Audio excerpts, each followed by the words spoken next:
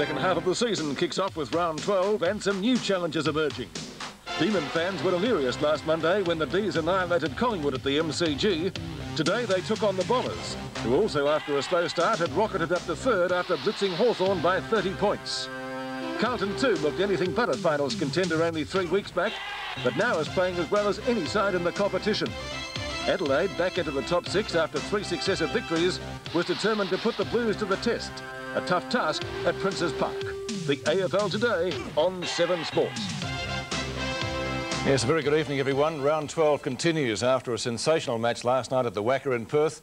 The Roos two games clear at the top with many of their main challenges in action this afternoon. Four games played in blustery conditions at the MCG, Waverley, Princes Park and the Western Oval. Well, two teams who figured in big wins last Monday this afternoon lined up at the cricket ground. Essendon going for its six wood on the trot, while the Demons were looking for more of the form that on the G has seen them down the West Coast Eagles and, of course, more recently Collingwood.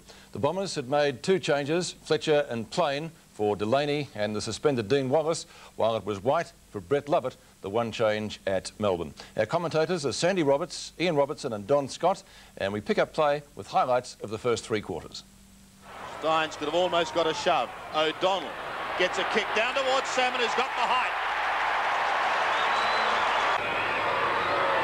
25 metres out, almost directly in front.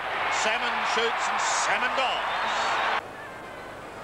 Rohde, Harvey, Lyon, all there. Viney at the back. Yes! Gets the handball out the back. Bradley Plain and Kowal.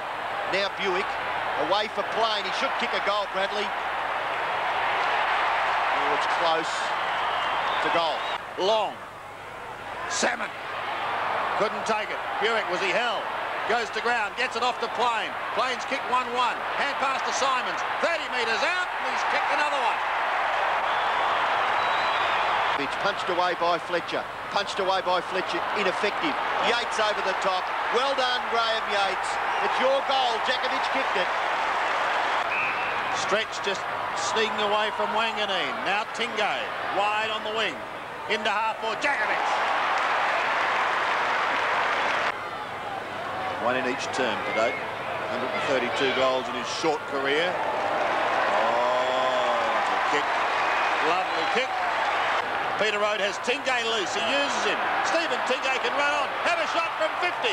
Simons gets him late. It's coming back. What a goal! Salmon will be his target again. Oh, it goes over the top. Can he soccer it off the ground? Can Watson do it?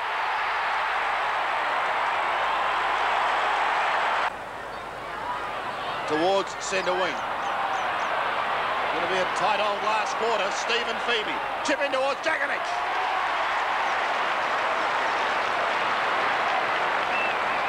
Where am I going to be? Directly in front. So three-quarter time, Melbourne just in front, 9-13 to Essendon's 8-8. And the stage was set for a thrilling final turn. Let's go back to the Melbourne Cricket Ground now, and we pick up play at the start of the last quarter. 11 points the margin, favouring Melbourne. They got two early goals to start the third quarter. What will happen this time? Stynes can't trap it cleanly, neither can Viney. Obbs partly smothered. Wanganeen could have been taken high. He was, said the umpire. Gee, they were a little fortunate there. Wanganeen to take it from half back. Essendon desperate for the first score.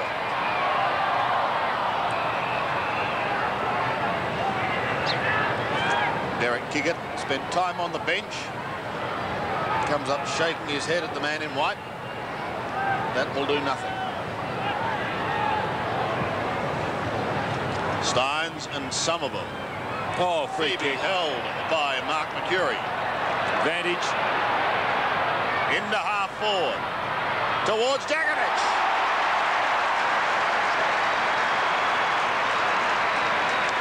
He's really got some talent, this man. He's really got some talent. Here he is using his body and his strength on the bigger, younger Dustin Fletcher. I suppose you could say inexperienced Dustin Fletcher. Only made his debut a couple of games ago. Still a schoolboy.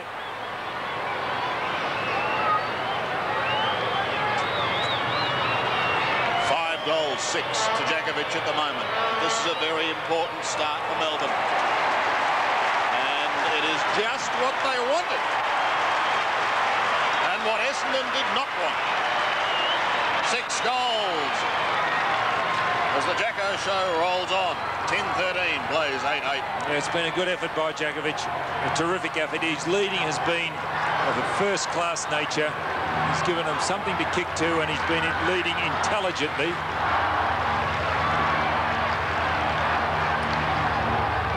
And there he is. Come on, he's saying. The runner out with Dustin Fletcher. Brian Wood, the Essendon runner, going out to Dustin Fletcher. Words of encouragement. 73 to 56. Robbins marks on halfback. Looks pretty sharp. Sneaks it out towards centre wing. Grinter. Centres towards half forward. Harvey takes the mark. Line slip.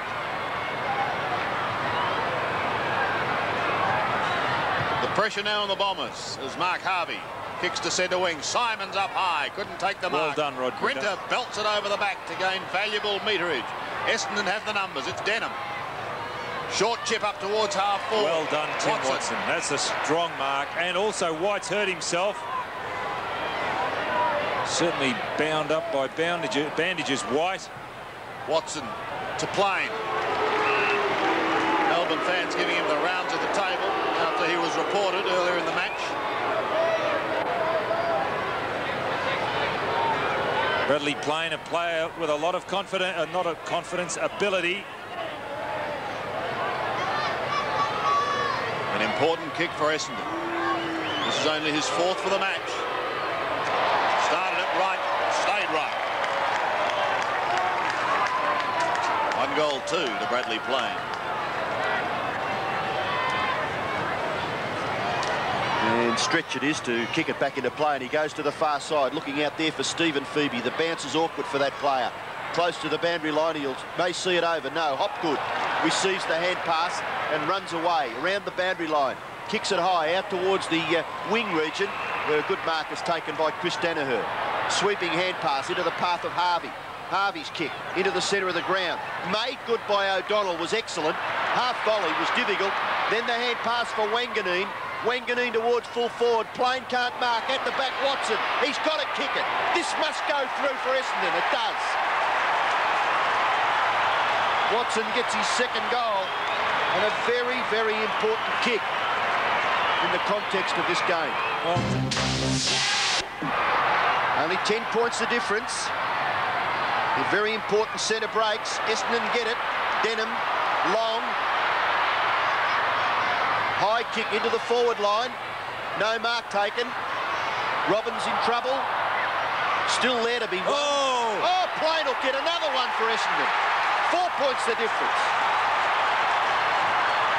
Two goals to Bradley Plain. A scrounger on the forward line, I would call him.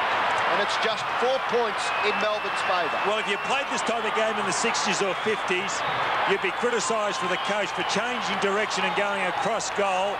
It was a cardinal sin in the old days for that reason. If you happen to miss it, it lets the opposition in. And Yeats has come off for Melbourne. Kowal on. Kowal going half forward. So we've got a game here. Bomber fans found their voice. Stynes couldn't take it cleanly. The big man goes to ground. Viney there also. And a bounce to take place. Four points the margin.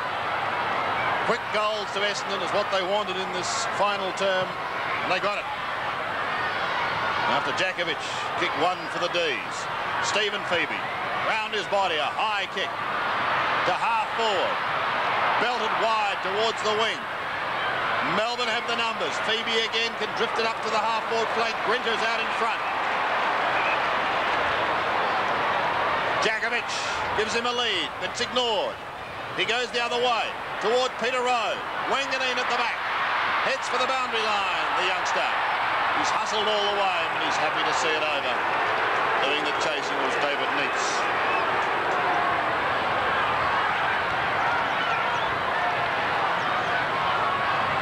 Daniher, Neitz, line. Just inside 50. You can see exactly where he is. It. Fletcher couldn't take it cleanly. Essendon have the numbers. Bomber Thompson to come away to the half-back line. Long. Tony got a sick. Oh, he's in trouble, but he does it beautifully. Gets rid of it. Now Essendon are clear. Mercedes kick. Well done, Wight. Only as far as Sean Wight. Off Poor to kick. Lovett. Lovett wide. He saw Grinter. And he it. Well to get in front.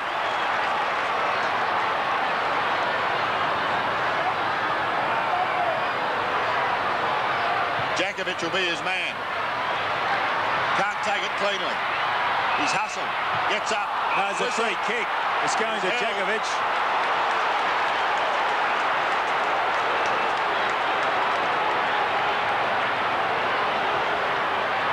Fletcher can't believe it. Let's have a look again, Don.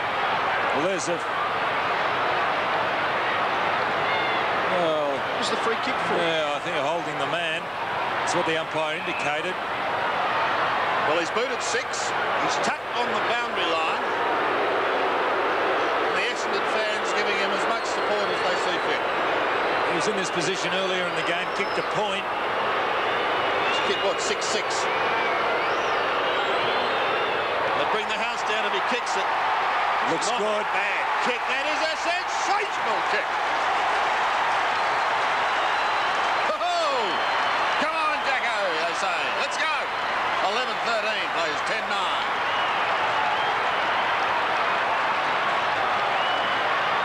There's the free kick. Now just watch this. Grinter still with the ball, holding on to it. Half volley. Yeah, I don't know. Viney gets the ball out of the centre, up towards Jakovich, nearly taken by Neitz. Ball rebounds for Harvey. In a little bit of trouble, but he's able to get his foot to the ball and kick it out near the wing. Grenvold can't take it. In comes Simons, just when Essendon need a bit of pace, but they're dispossessed and stretches there. He gets back and kicks it long, inside 50 metres. Marking contest, Rohde has got it. Not paid. Yes, it is. Yes, it is. And Rohde is marked. Very close for Peter Rohde's maximum kicking distance, I would think.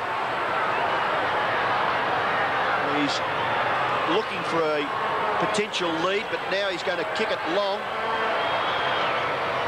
Oh, it's a good kick for distance. Just offline and through for his third behind. Yet to kick a goal this week, Peter Rohde.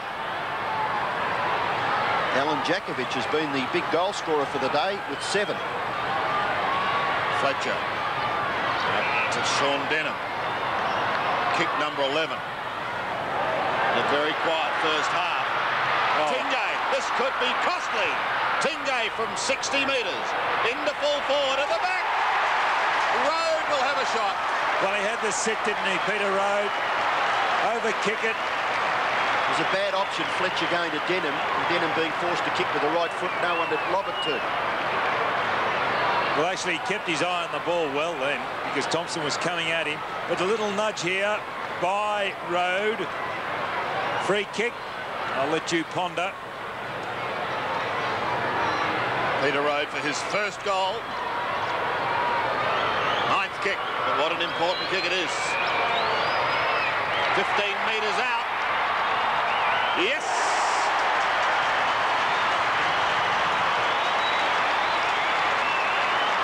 Demon supporters delirious. 12-14 plays 10-9. Well, are they home? Well, we'll just have to wait and see. There's 16 minutes odd of this game to be played out. Essendon looked like they were, they definitely did close the gap and looked as if they could go on with it, but Melbourne have steadied. And this is a good effort by Tingay. A great effort. Long he goes. And the sit by Rohde. So with uh, plenty of time left in the game, one wonders whether Essendon can peg back that 17-point advantage that Melbourne have. Buick over the top for Long. Long again, in towards full forward. And a good mark, an excellent mark taken by Gilbert. standing his ground. Handball away for Stretch. Stretch from half-back, goes straight down the ground. Good distance with the kick. At the back is Wanganeen. Forced to kick fairly blindly in towards the forward line. No mark taken. Gilbert is there, leaves it for Tingay. Away for Stephen Febey, in turn to Glenn Lovett. Lovett bounces awkward for him. Pouncing on it was Buick, but he had three to beat. And he was unable to defeat them, and the ball goes over for a throw-in. Buick fairly quiet. Change being made. Uh, Harvey going back on the road. Kick it. I think will come up onto the forward line for Essendon. There's a chance for Stephen Febey. Now Matthew, his brother, gets into the action. Joe Misiti, harassed by Lovett. In comes Stephen Febey. Floating kick into the forward line. And it bounces over in front of David Grenvold, about 45 metres from the Melbourne goal. We'll have a throw-in. Essendon with the job in front of them now. 15 minutes left. They need three goals to win the game. Lyon, Daniher. Neitz there also. Past kick it. Make it another chance. Viney hot on his hammer. Oh, free kick. No free kick. Bomber fans not happy as Plain goes in. He's at the bottom of the pack, Bradley Plain. Well, the umpire was right there. Maybe Kickett tripped over his own feet. Yeah, he did actually. What about that What about one for a bit of a push then? Anyway, there's no free kick. There is now. Is that the square You're off? kidding, Chris. And make good. Somerville from half-back. Essendon wanting quick goals. Out towards Chris Daniher. Oh, Got to well beat Matthew done. Febey and he can't. He'll drift it into the centre. Got a couple of options there. Lovett or Viney. Chose Lovett. Call to play on. Chips a kick that slews off the side of his boot. Tingay is forced to defend. He gets a punch away. It comes to Grinter. Grinter gives a little ground. Off to Hopgood. Hopgood comes wider. Tingay on centre wing. Pumping it in towards the 50-metre line. Into the pocket. In towards Jakovich. Fletcher sees it close to the boundary line. He lopes away. Goes across goal to Chris Daniher, who marks in the back pocket. This time he gets clear. No, he doesn't. They get him. He's forced a handball. It's spelled free. Febey couldn't take it at the first attempt. Essendon may get out of trouble. It's Denham's kick that clears them to half forward, but only as far as Big Jim Stynes. And well done, Stynes, getting back across that half-back line. His hand pass goes away for Robbins. Robbins, short again. Viney. Viney will carry the football now oh. for Melbourne up towards their half-forward area. Buick the tackler. Viney's got it. He's caught. You penalised? No. Yes. Yes. Had plenty of time to get rid of that ball. Well done, Buick. To be a bit of urgency for the Bombers now. Time ticking away, 13 minutes. He kicks it towards Watson's area. Watson and Robbins. And the ball goes over for a throw-in. Tim looking as though he's struggling a little bit, probably fitness-wise, which is uh, to be expected. He's only played, uh, what, four games now. Kick it, handball, Plain. Plain has kicked two. Up towards full forward, Salmon. Can't take the mark. Hopgood gives away a behind.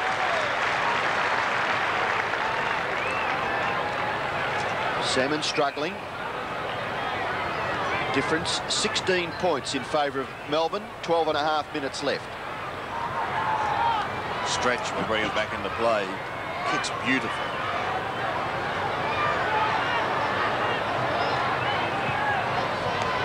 Straight down the middle towards Obst. They have a second attempt. Line off the ground. Into the middle it goes. Kowal is there. The bump. Denham's at the bottom of the pack, squatting over the ball. Kowal was good then. Yep. In a contest with a bat man much bigger than him. Peter Somerville Did not showed flinch. a lot of uh, courage there. 44,094 fans here at the MCG. We're still in the middle, and the Bombers still need goals. Badly. Time running out. Long. Here's a charge. Chip over the top for He thought for a moment about Simons. He thought for a moment about going short, but Now Tim Watson saying, here they are. Just do it. I don't know if he's confident of kicking the distance. Obviously not. So to Paul Salmon. Salmon's been pretty well held. He's kicked only a couple, one in the first term and one in the second. Well, if he gets this, Sandy, there's only 10 points of difference. And Essendon's catch-up football continues. And there's still time for them to get in front. Sean Wight signalling to the bench. Here's Salmon. 40 metres out. Drop putt. Going to be close. Oh, poster. Ooh. Not what they wanted.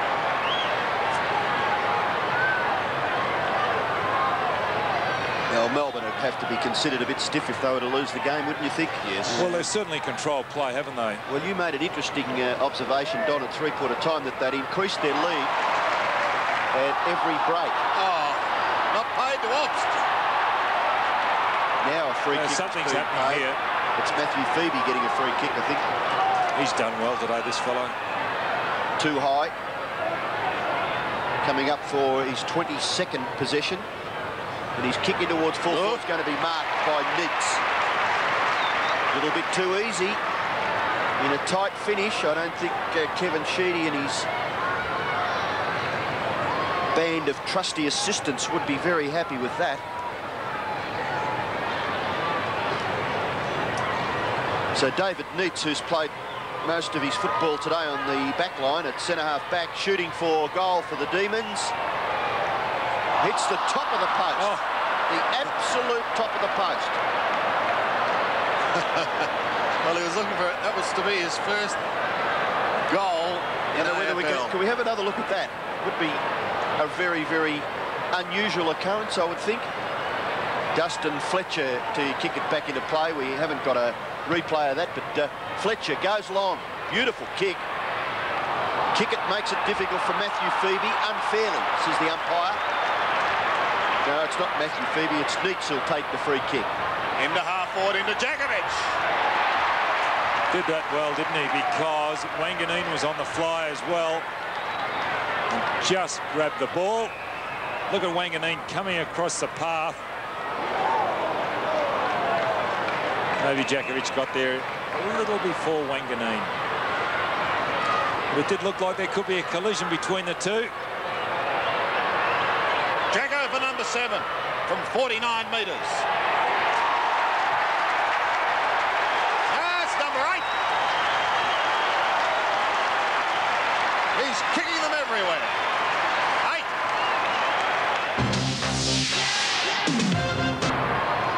Easy to lose count with Jakovich. He's kicked eight.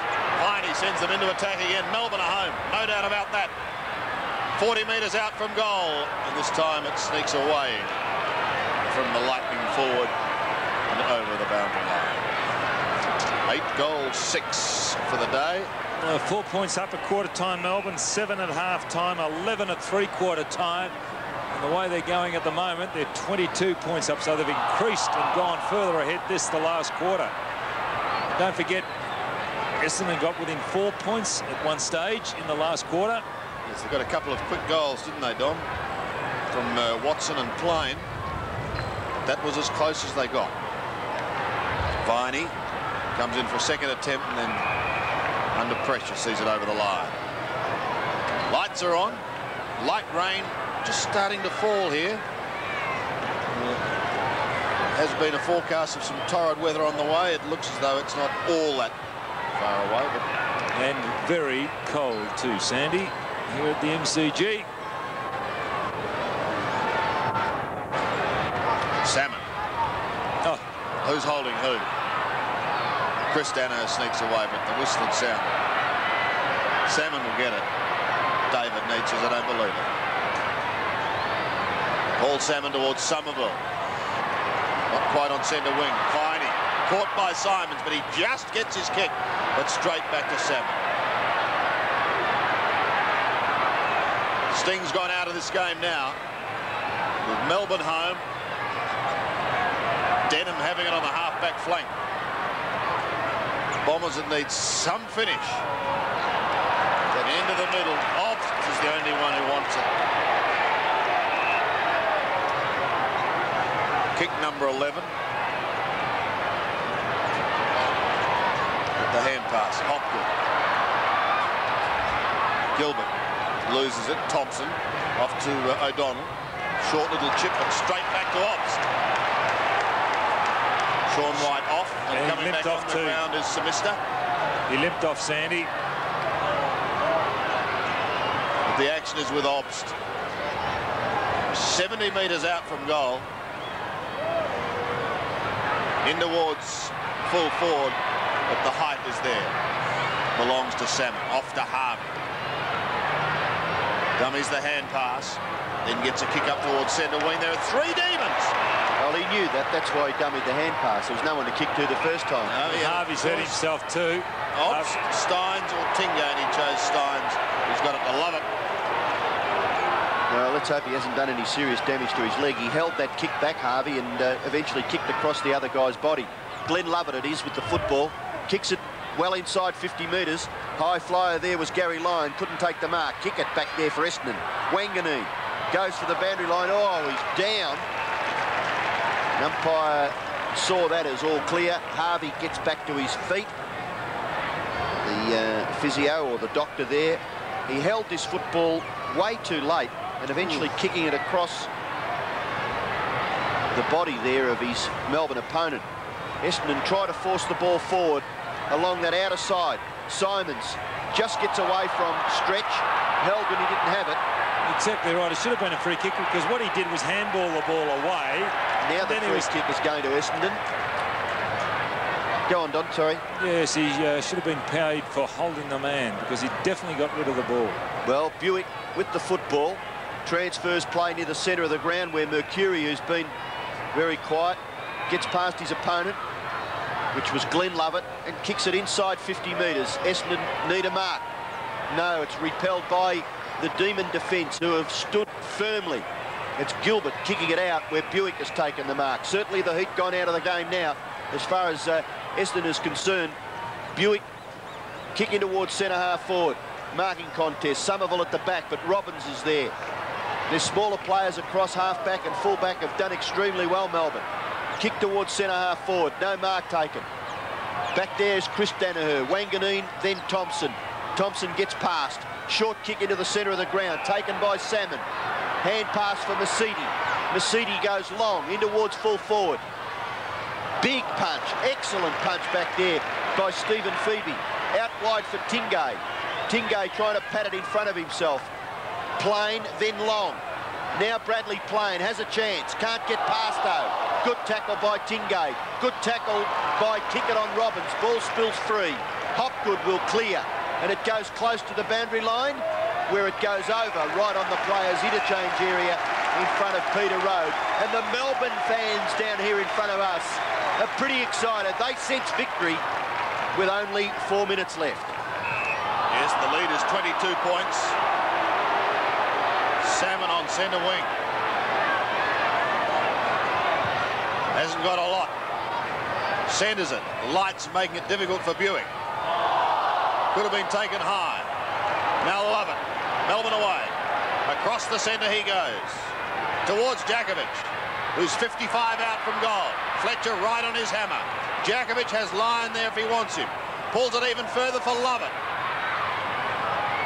Runs into Wanganeen. Bang! Out he goes. Could still result in a goal. Yes! Well, Lovett on his feet. He certainly did run into Wanganeen. It was a collision. And the Melbourne guys going across and recognising the effort of Lovett. He's done very, very well today, Glenn Lovett. An interchange. Kowal off. Coming back on his Yeats. He kicked the goal, Cal. And here's the collision. And the ball in no man's land. Darren Kowal kicks the goal and then leaves the playing arena straight off the interchange bench. It's another one though to the Demons. And Neitz gets the hand pass away. Febey towards the half-forward flank, towards Grinter. Rod Grinter enjoying it up there on that half-forward line. Kicks in towards the pocket and sliding over the boundary line is David Grenvold. Is that a try? Well, they need more than that, don't they? After five successive wins, the bubble has burst for the young Bombers. Whereas Melbourne continue to resurface after looking down and out for the count. Well, you'd wonder what happened to them three or four weeks ago when they were just disgraceful against uh, Carlton. And they were beaten by 17-26 to 11-8. Not by 54 points, but by six goals, 18. Well, they've come back very strongly. And Played superbly against Collingwood. Credit to them. Here they go again. Loving off to Grinter. Can go over the top once more. No, they say go in towards full forward. Perhaps he should have had a shot. Instead, he tried to pass to Simister. But it doesn't matter because they're still going to get another one. That's out of bounds on the That's the story of Essendon's day. Melbourne have just been on them all day. Grinter will take it. Well, Jakovich kicked one from here earlier. Can Rod Grinter repeat the feat? Gee, that was a good kick by Allen Jakovich, Was though, to, to goal from here. That was a boomer. This will be his 10th kick. It's Jacko. Oh, I think he has. Oh, what a kick.